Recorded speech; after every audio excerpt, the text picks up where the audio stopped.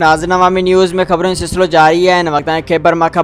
deputy commissioner مٹیاد Murtaza علی شاہ جی صدارت ہٹ district intelligence committee G M گرجانی میں ضلع جے ایم ایسا سکیورٹی ہائی الرٹ کرٹیلیجنس نیٹورک متحر کرانون لاگو کرند سبھی اداروں کی مربوط رابطے کی یقینی بنانے زور دا گڑو گھوڑ خانگی کمپنی جی کی سکیورٹی گارڈن کی ویریفیکیشن کران جو فیصلوں کردے ضلعے کے مجموعی امن و امان کی صورت حال کے اطمینان کا اظہار کیا پو گرجانی میں آشو